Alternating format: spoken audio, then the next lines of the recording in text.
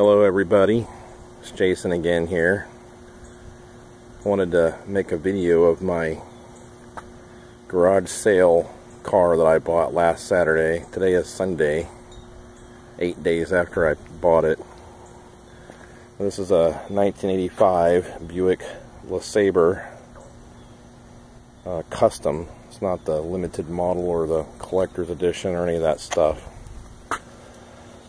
It's got a uh, 307 Oldsmobile V8 and it's been garage kept. It's only got 60,000 original miles on it.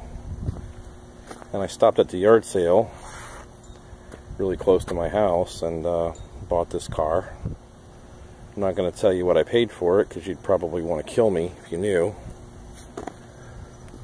This was bought here in Bradenton brand new at Conley Buick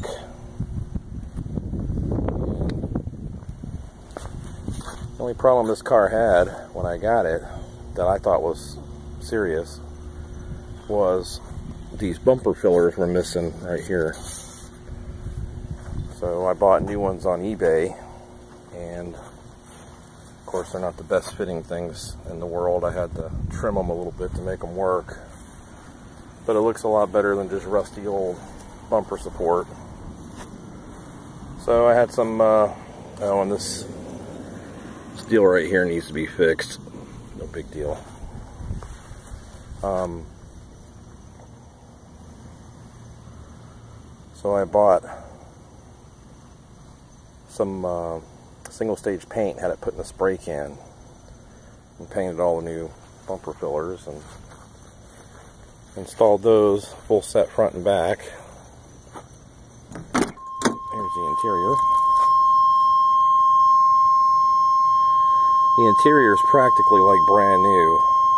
Just needs a little bit of cleaning on the carpet and the steering wheel is a little bit dirty. But um, the only thing that doesn't work on this car is the power seat because the gear is stripped. So I'm going to replace that. It's just a really nice car. It's got all the paperwork in the glove box. The AC will freeze you out. The key will annoy the piss out of you. Got brand new Firestone tires on it. Oh, and the hood lift supports are bad, so that's my hood lift support. So here's the front bumper fillers, and they came out a lot nicer. They fit much, much better. It's three pieces. It's a centerpiece right there. And it overlaps to the right, or the left from the driver's seat, and the right from the driver's seat. And the paint even turned out pretty good too. So I cleaned up the engine a little bit. There was some grease and grime. And um, it's got a fairly new battery. Well, let's start it up.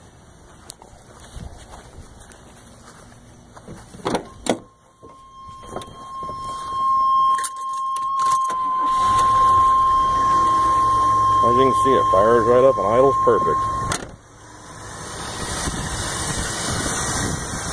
Got a squeaky belt. Well, that's kind of to be expected, I guess.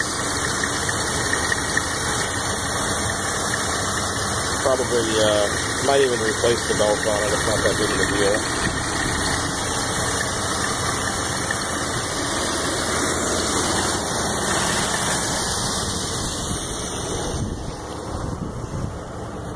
Show you the back seat. Got a nice umbrella in there. It's a non-smoker's car.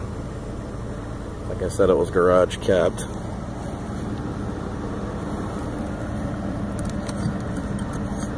Look at that. Just don't see cars with ashtrays in the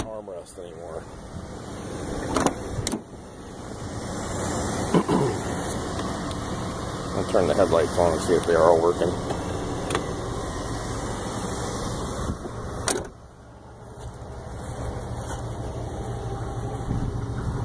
Yep, I replaced all the bulbs when I pulled the tail lights out to do the bumper fillers.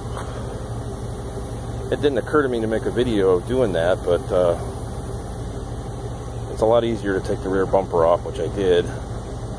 And you got to pop the tail lights out to get to the speed nuts that hold it on at the top.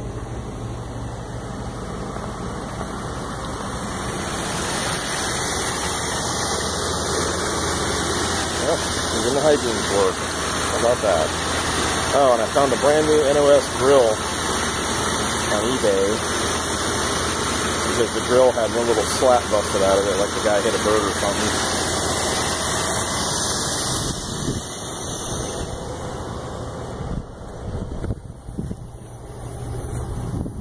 There it is, Conley Buick, Bradenton, Florida. 19, it was bought November 8, 1985, I think. It might have been 84. But either way, it's the last year the rear wheel drive LeSabre.